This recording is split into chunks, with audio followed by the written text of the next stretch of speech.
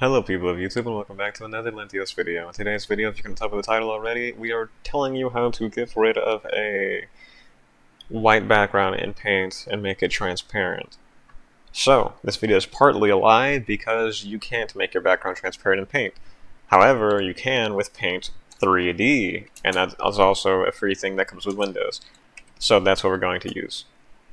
Also, there's a thing where they said they're discontinuing Paint 3D, but you can still download old or cur the current version or older versions of it. Um, I don't know how it's going to work in the future, but right now it comes with Windows computers.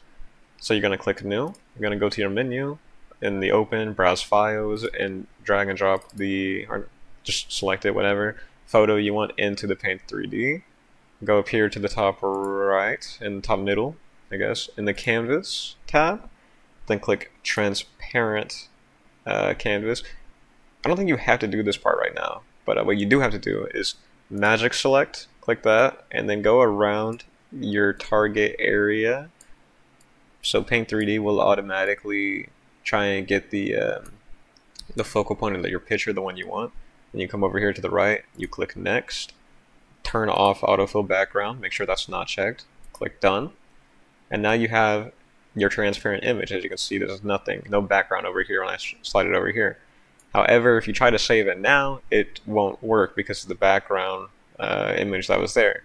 So what you have to do right now is you have to copy the image and you have to go to make a new tab in Paint 3D, which you can go to menu here. You can click new at the top. Don't save, you don't have to save.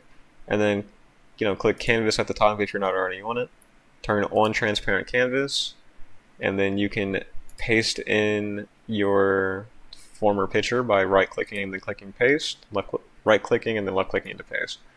Uh, now this arrow is very big right now for some reason, but I can just size it down using that. And then you have your image.